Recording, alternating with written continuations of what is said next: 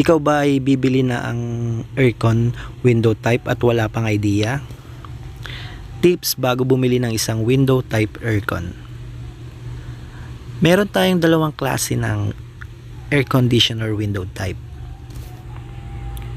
Una, digital air conditioner or remote control aircon. Pangalawa,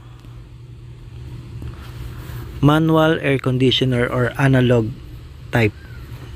Basically, ang remote control air conditioner meron itong panel board na makikita sa picture.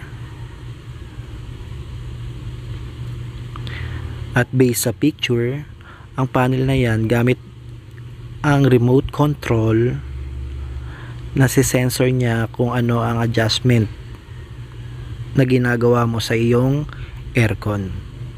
Paano na lang kung na misplace natin ang remote control? Uh, one thing ang kagandahan sa kanya, pwede mo siyang i-manual.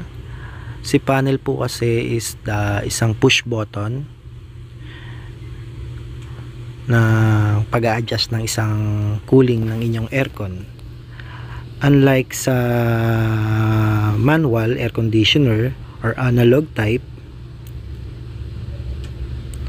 based sa picture makikita natin na pinipihit or iniikot ang pag adjust ng cooling ng inyong aircon.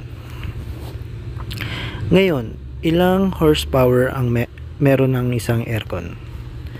Meron tayong 0.5 HP 0.75 horsepower 1 horsepower 1.5 horsepower 2 HP and 2.5 horsepower. Based sa picture na makikita natin dito yung sukat na pwede sa mga horsepower ng isang air conditioner.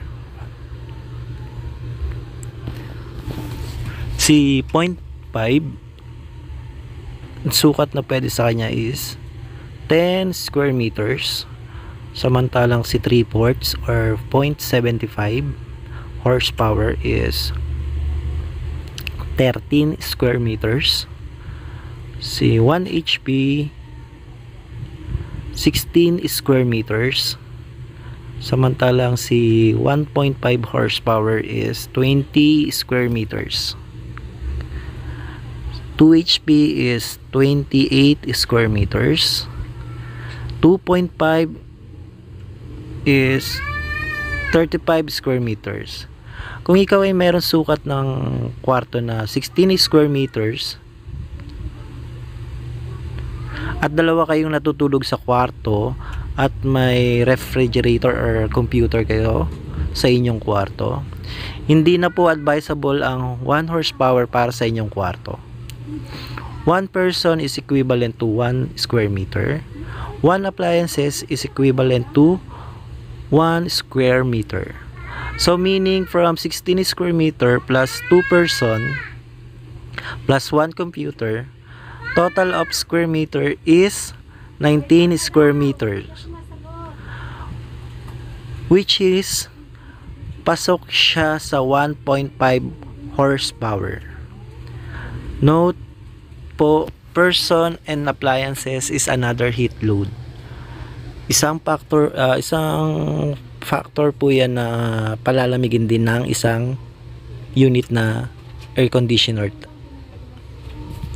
So, ayun po, sana nakatulong ito sa inyo at maraming salamat.